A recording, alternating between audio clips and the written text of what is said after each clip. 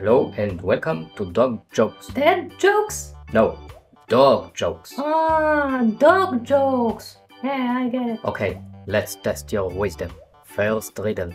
Why did the dog sit in the shade? It's too sunny outside. No, He is a lazy dog. no, He ate his own sunglasses. no. The answer is because he didn't want to be a hot dog.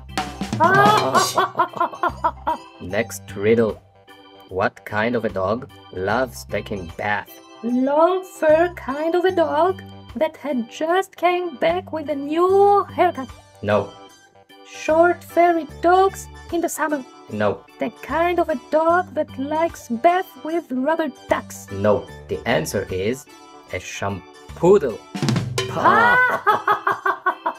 Next riddle. What do you call a dog magician? David Copperfield dog.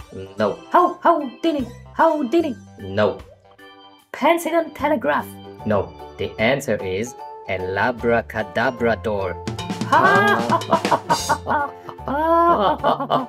Last riddle. Try your best. Why do dogs make terrible dancers? Hmm. Hmm.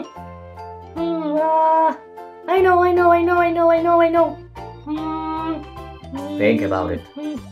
I know because um. Uh. Uh, I know, I know. Don't tell me, don't tell me. Wait, because of uh, um.